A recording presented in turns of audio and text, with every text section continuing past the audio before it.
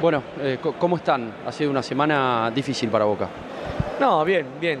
Eh, yo ya llevo poco tiempo, me estoy acostumbrando a lo que es el mundo Boca, así que nosotros estamos al margen de todo lo que se habla. Siempre hay cosas por mejorar, porque es la realidad, por la historia que tiene el club, por los jugadores de jerarquía que tenemos.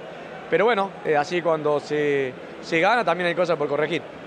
quedó la sensación de que a Boca con un poquitito más el otro día le, le alcanzaba para llevarse el partido con Junior.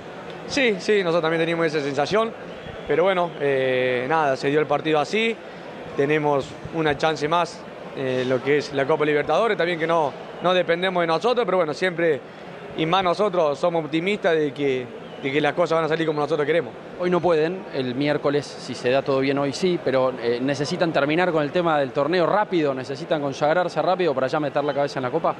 Sí, sí, sabemos bueno, que el torneo, más el fútbol argentino, es muy competitivo. Eh, obvio que el jugador, si hoy teníamos la posibilidad de terminarlo, era, era importante, nos sacábamos eh, un peso de encima por lo que significa estar en este club, que, tiene, que es pelear constantemente todos los torneos.